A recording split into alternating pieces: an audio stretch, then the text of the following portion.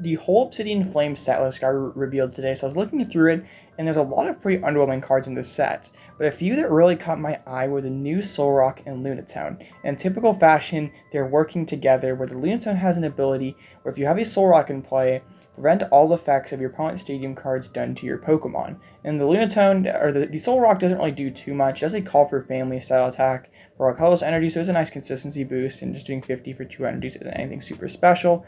But the ability on the Lunatone isn't really anything like we've seen before. We've had Pokemon that have locked stadiums in play. We've never had Pokemon that have shut off the effects of stadium cards.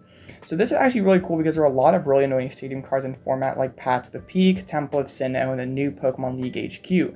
So imagine if you're playing a deck like Gardevoir, where late in the game, one of the few things that can um, cause you to stumble is if your opponent playing an Iono and combining it with Path to the Peak, and then you just can't find any of your stadium pumps to close out the game.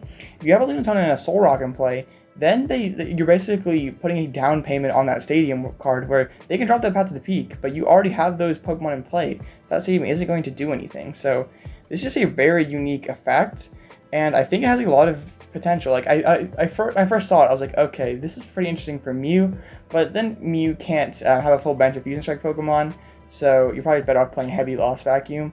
If we had like Sky Field or something like that, that'd be pretty cool combo, but we don't. Or even Lugia would be nice to shut off Temple of Sinnoh, but that's not too practical because you already have to commit two bench spaces to Archeops, then add that uh, add the Lunatone Solrock on top of that, so it's not uh, the most practical in, in decks like that. What about a deck like Lost Zone Box, where the new League HQ could potentially throw a big wrench into your late game strategy? So you can have this uh, Solrock and Lunatone combo, and in the matchups where it's not useful, you can just Lost Zone them with the Colress or a, a Comfey. But the deck I thought it would be most useful in would be Sablezard, where it's a, a deck where you have Radiant Charizard as your main attacker, but with all the decks running Lost City right now, it's pretty hard to have just one main big attacker. Like you have to have multiple things that can uh, that can have one shot um, damage output attacks. And the Sablezard deck really only has uh, Charizard, so it, it really can't, it can't be in any of those Arceus Lost City decks. But if you put down a Solrock and a Lunatone, then the Lost City effect would not work on your Radiant Charizard, and you could have several Charizards in one game.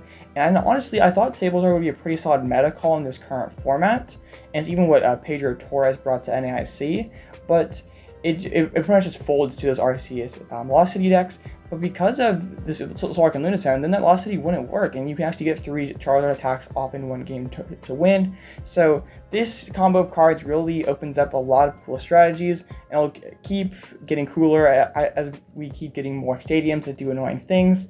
But um, overall, I was not super impressed with the uh, Obsidian Flames. Um, there will be a few cards there'll be videos on in the upcoming days, but uh, right now, I just think Lunatone and Solrock were the most, most unique cards from the new set, and uh, hope. I mean, after a after Paldea Evolve was a total banger, now this one is a, a, bit of a letdown, but there are a few cards we'll explore in the coming days. So thank you guys for watching my little rant here about Solrock and Lunatone. I hope you have a great rest of your day, and I'll catch you in the next one.